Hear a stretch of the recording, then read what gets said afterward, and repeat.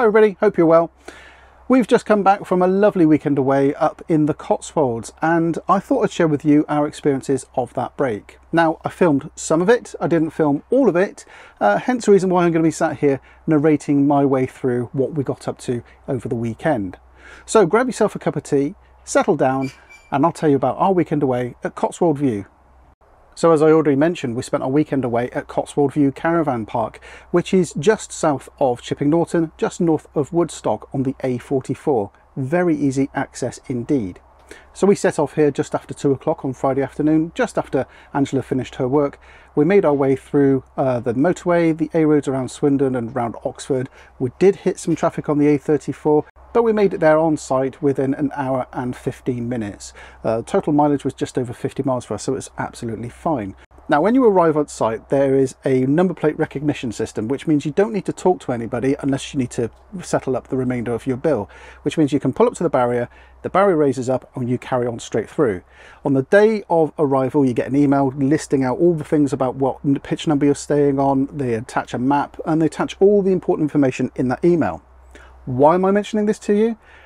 Well, somebody didn't read the map and somebody didn't pay any attention to the uh, instructions or the emails that came through uh, for reasons that will become very apparent later on. But when we arrived, I made a bit of a mistake. So when we arrived, we went down there, which was the wrong way. We should have gone down here. And um, we went all around the site, but we should have just turned straight down here, down to our pitch. So by the time I'd finished doing the loop around the campsite, it was time for me to make a very tight left turn down towards our pitch. Now, as you can see here, it doesn't look too bad on camera, but trust me, when you've got an audience of people watching you and also you're a little bit stressed because you haven't read the instructions, completely my fault, uh, it was a little bit challenging, but I did manage to get round there. I'm pretty sure if I had a bigger or a longer caravan, I would have been a little bit more sweary about things, but nonetheless, we did make it down. And we ended up on our pitch. Just a few moments later, I reversed straight on, leveled up, and we were done by four o'clock. So the lesson here is read the instructions, read the map, make sure you're aware of where you're going, and it was all completely my fault. But believe me, this theme of me not paying attention will become more apparent a bit later on in the video. So like I said, we pitched up really quickly and uh, by four o'clock we were sat outside drinking cups of tea, taking in perhaps the last of the nice weather for the weekend ahead because the weather report was predicting that we were going to have some fairly significant showers. But anyway, we were going to make most of it and sit outside and take in all the fresh air. Now Friday night we didn't really feel like cooking. We both had a fairly long and exhausting week and uh, we just took advantage of the on-site facilities. Now on the site there is a lovely little restaurant called the Old Shed. They provide um, breakfast, brunch and lunches etc. They don't do any evening meals but on the Friday evening they do provide takeaway pizzas and that's exactly what we did. We took a wander over, Angela ordered her vegetarian, I ordered the meat feast to overcompensate for Angela's lack of meat. And so we took the pizzas back to the caravan, sat outside, eating our food, and we took in some lovely sunsets that evening. In fact, I took a picture, have a look at this. What a beautiful sight it was. Now, as nice as the pizzas were and as lovely as the sunset was, it wasn't the reason why we'd actually turned up for this particular weekend. Um, we are here for this weekend because this site is doing a uh, an event and it's the Film on the Farm. They've got a very large outdoor cinema just over the uh, tree line there and we've booked ourselves some tickets for one of the uh, shows tonight and we're going to go watch Top Gun. But today we're going to go and explore the area. We're going to go to Chipping Norton later on because we've never been. I probably have, but I can't remember it. So we're going to go to Chipping Norton and explore the area. But before all of that, obviously we need to sort out some breakfast and we are not having breakfast in the caravan today. Instead, it's been suggested to me on Instagram already that we head on over to the Old Shed, which is an on-site uh, cafe, restaurant, eatery place um, that we'd go and have one of their breakfasts and that's exactly what we're going to do. Right, let's go.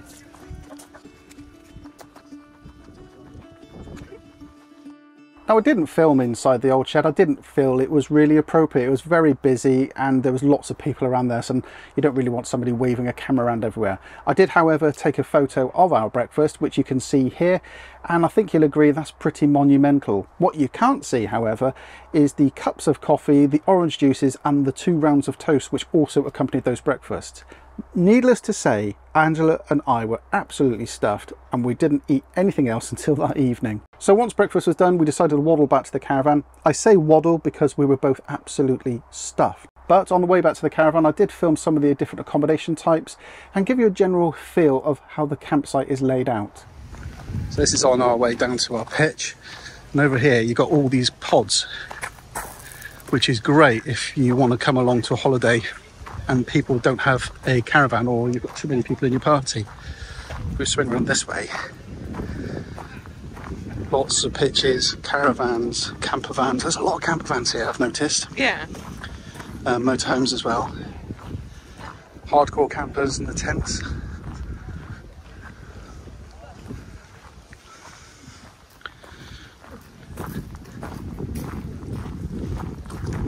Pods down there, and I think there's a dog walk down. Yeah, that's right. There's a dog walk area down there as well, which is nice. Swing around here. Apart from the blinking wind. Sorry.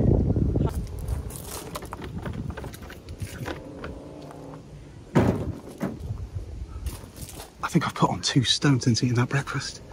I'm absolutely bloated absolutely bloated. I don't think I've ever had so much in all my life. And don't say anything rude. I'm not. Right, let's get ready to go out. So this campsite is probably the first campsite I've ever been to where there is no one-way system. And there's no five mile per hour notice. I noticed that last night. Mm-hmm. It was quite, well, it was like a chicane. It was like Maggotts and Becketts, this uh, sweeping curve here. um, yeah, they did hoon it through here at a furled rate of knots, which was quite disturbing really, especially when they had children out playing. Mm.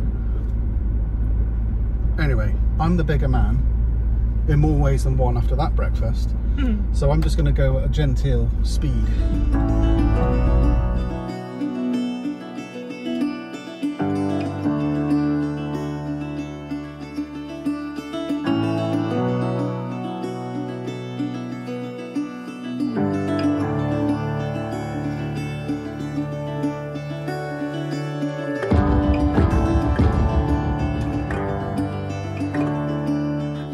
Right, so we are in the uh, long stay parking of Chip Norton.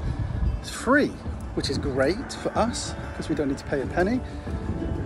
And uh, yeah, we're uh, well, there you are. We're going to go on in and enjoy our day.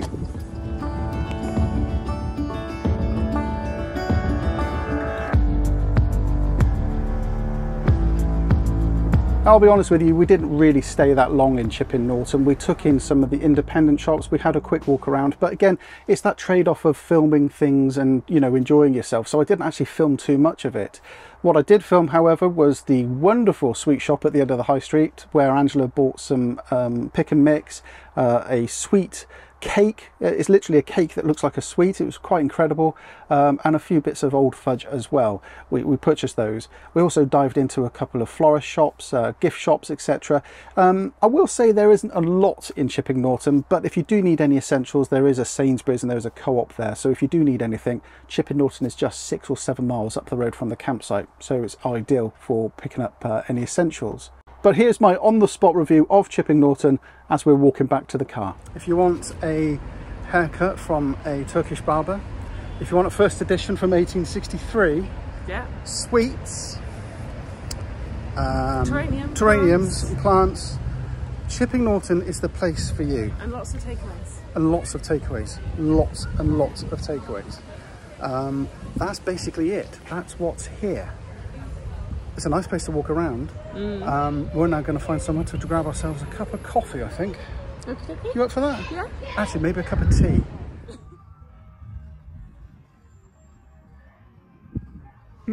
Uh, what do you think of this site so far?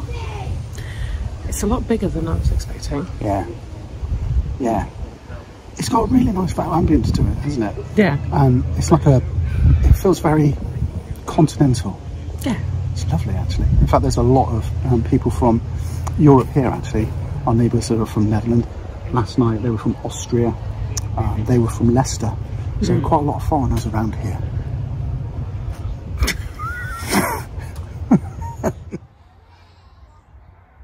Now, because of the proximity of our pitch to the outdoor cinema, literally it being just over the tree line, we could hear absolutely everything, which was great joy for Angela and myself because we both found ourselves singing along to Matilda on Saturday afternoon.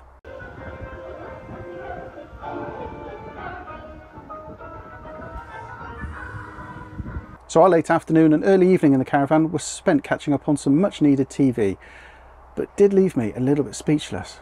We've just finished watching um, Hijack. Hijack on Apple TV. That was absolutely insane. I absolutely, I love that to bits. we did it over a course of a couple of nights, couple of days. Yeah. Um, but yeah, we really, I really enjoyed that. Yeah. Um, wow. what a show. There's got to be season two because there's a couple of loose ends there that haven't been cleared up. Yeah. Anyway, um, I've made a discovery about our pitch.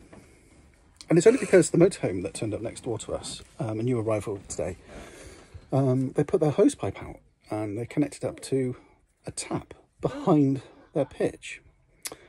Now, I've only just realised We're on a service pitch. we're on service to pitch. and my service pitch kit is in the office, At home. in the corner, ready to get starts. So there's me filling up our Aquaroll yesterday over there, and uh, we've got a tap on our pitch. What a plum. Anyway, it is now um, uh, 20 to 6. We are 20 minutes away from eating dinner. We're having pork chop, corn on the cob, slad, Yeah. and uh, we're going to eat that, get ourselves ready, and then we're going to go over to watch more aircraft related bonfoonery. Like I say, movies. Yeah, yeah. Not looking this angle very much, are you? Well, it's okay, I suppose. Yeah, so that's what we're going to do this evening, and we'll take you along with us. Obviously, I won't be able to show you the movie because I'll be hit with a copyright strike, but I can show you the outdoor cinema whilst we're setting up. So we'll take our two chairs, the table. The problem I've got though is that there is a potential for rain tonight, so we need to mm-hmm. take a brolly with us as well. Because it's 40% chance of rain, isn't it? yes. And the showers have been amazing here so far. Anyway, so that's that. Mm-hmm.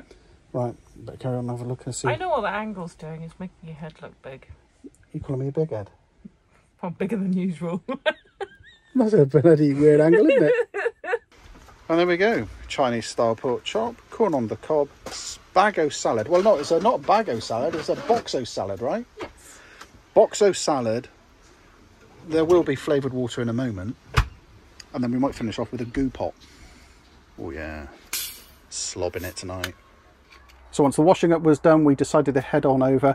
We took our chairs, the table, the brollies, the blankets, the drinks, and some of the sweets that Angela had purchased earlier in the day, and we trudged our way over to the outdoor cinema. The setup of the cinema was incredible. They had some food stands and some drink stands behind us, so if you wanted things like popcorn, nachos, hot dogs, all of that was available for you. But on the drink side, you could get yourself uh, a couple of beers, a cider, and even a jug of Pimm's. They were also available. It was an absolutely fantastic environment, and we settled ourselves down, got ourselves settled in a really great position right in front of the screen. And it was then that we met Carrie, Richard, and Abby, followers of our channels who also own a Ridgeway 640 just like ourselves. So we had a great chat, comparing notes, laughing and joking, etc. So it was lovely to catch up with you guys, and I hope that we cross paths again in the near future.